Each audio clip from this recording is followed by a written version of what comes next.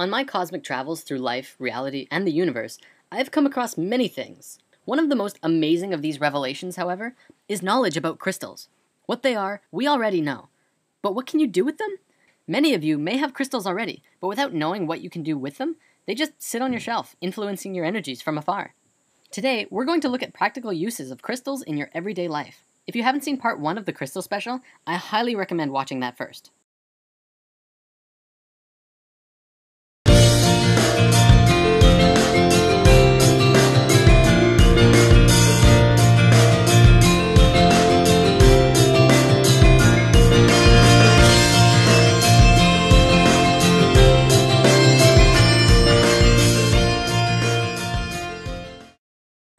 Thing we need to discuss is how to charge your crystals. Just like us, crystals need sustenance. Well, they won't die if they don't get any, but who doesn't love to be fed? One way of charging your crystals are with bigger crystals. By allowing the smaller crystals to receive energy from the points of the bigger ones, you can also just sit small crystals onto a cluster. However, there is a much easier way. Sunlight. Just as we receive energy from the sun, crystals also receive and recharge under the intensified life force rays of the sun.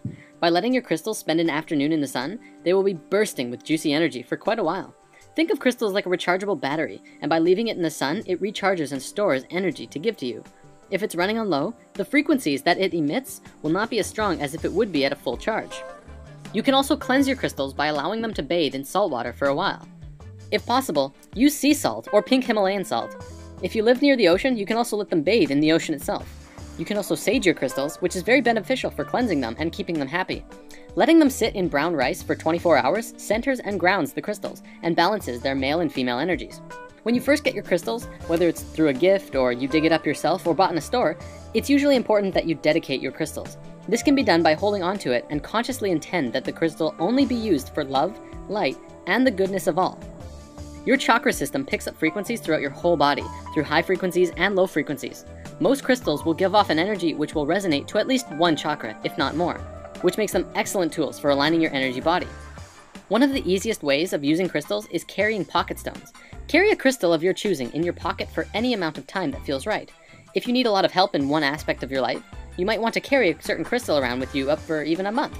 Then after that time, look back at the month and see if the description of the crystal matches what you experienced. This is actually how I first got into crystals. A friend of mine gave me a crystal and told me to hang on to it for a month. I didn't really get why, but I did. After a month, I found out what that crystal did, and it had been affecting me in the exact ways of the description. After that, I was hooked, and have been exploring crystals ever since. One thing that I do quite often is actually make what I like to call spirit water. It's really very simple. All you have to do is place a crystal into a glass or bottle of water for an extended amount of time before consuming. Usually it's recommended that you wait 24 hours before drinking the water, but even several hours will yield slight changes in the water, especially if you meditate with the water. You can also leave the water out in the moonlight or sunlight for a day before consuming while the crystals are in the water.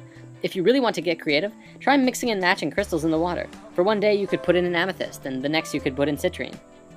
This actually goes to the phenomenon of water that researcher Masaru Emoto had been studying and researching for a very long time.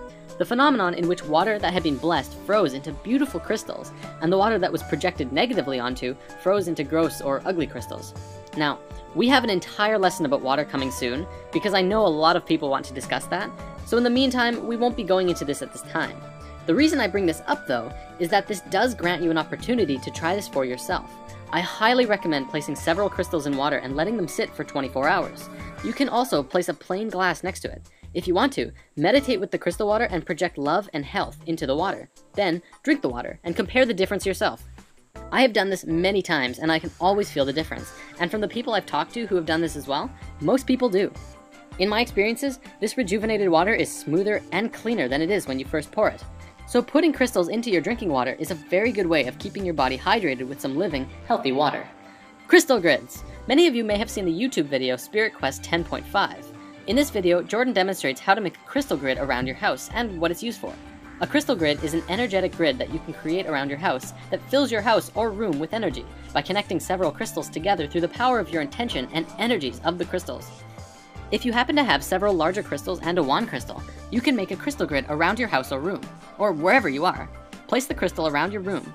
The crystals do not have to be in a geometric pattern, but if they are, it will only serve to strengthen the grid. Consciously connect all of the crystals together using a wand crystal. You simply have to point the wand at a predetermined master crystal, usually a quartz, or something bigger than the rest.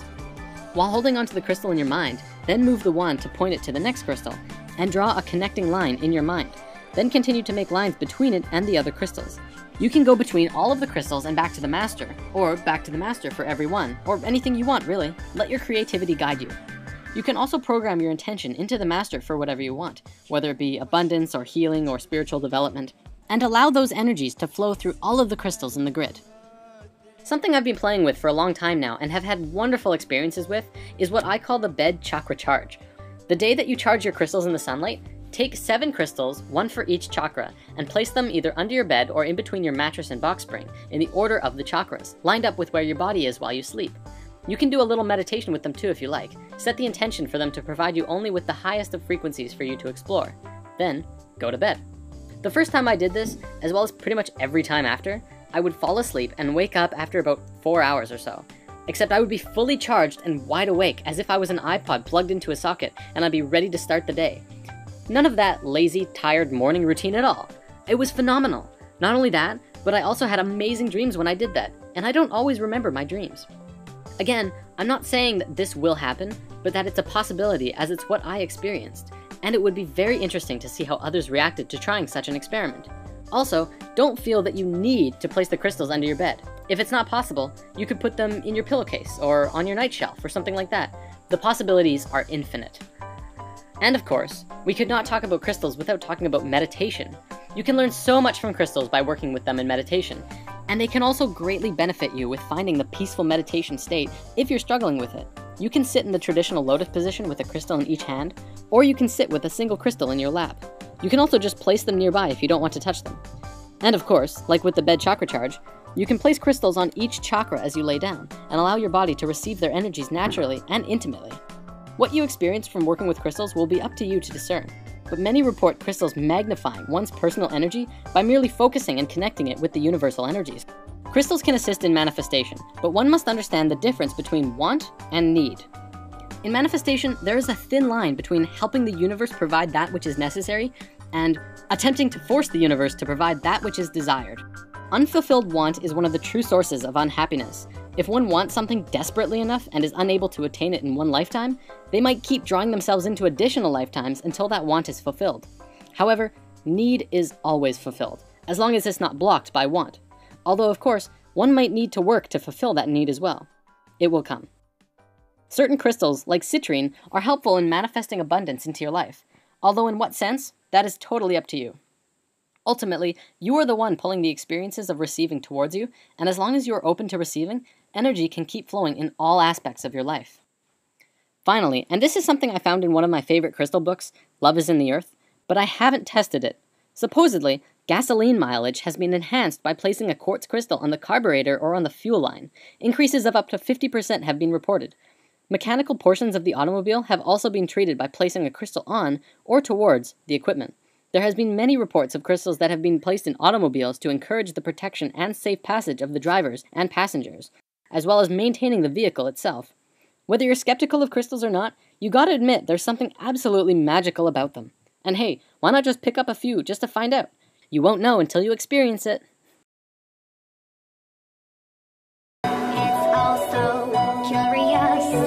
Once I was so curious, I knew I wanted to go.